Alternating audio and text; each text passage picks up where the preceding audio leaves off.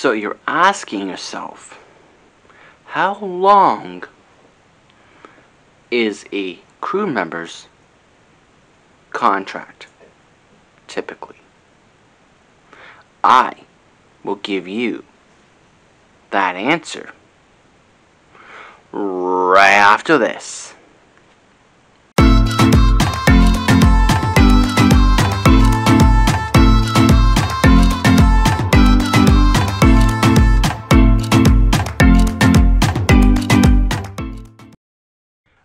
And welcome back.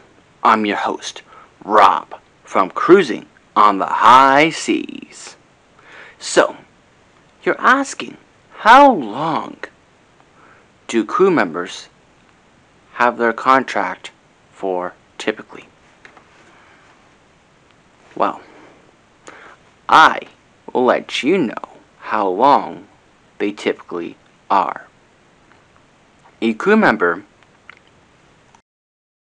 typically has their contract between 6 to 8 months.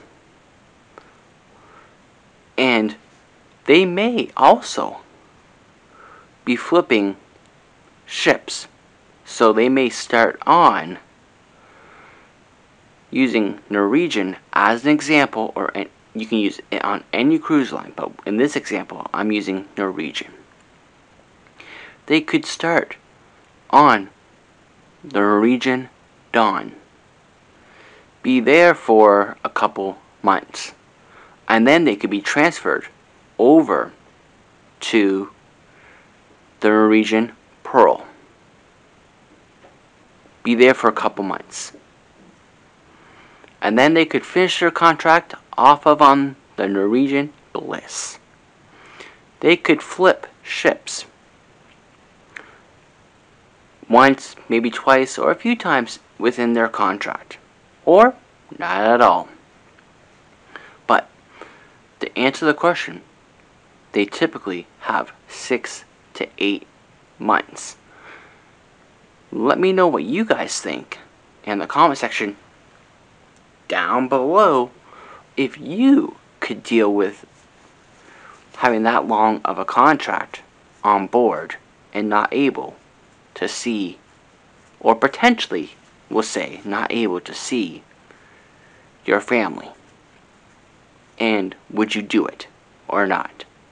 And if you have heard of any shorter or longer contracts, also leave it in that comment section down below what you have heard. And of course, if you would do it or not.